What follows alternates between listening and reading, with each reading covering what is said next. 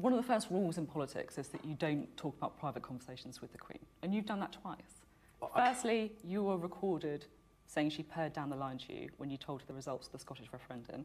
And secondly, you've now revealed as well uh, that you asked her to raise no, an I, eyebrow. That, actually, that's, I mean, I, I was, what I said in that programme, and I don't want to add to it in any way, was about conversations between my aides and her aides, actually. So what you asked is not actually correct, but I don't want to say anymore. You've been indiscreet. I, I don't want to say anymore, um, and uh, I'm going to leave it at that. The royal family, the uh, source at Buckingham Palace, has said that your comments caused displeasure. I mean, that means they're furious in royal family speak, doesn't it?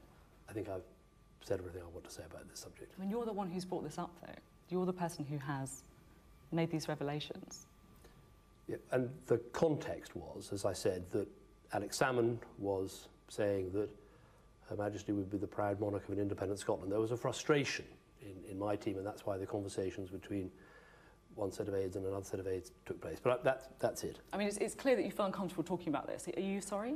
Well, I, I don't want to say any more because I don't want to make the situation worse than it is. So you can go on asking questions, but I'm not really, I'm not going to say any more.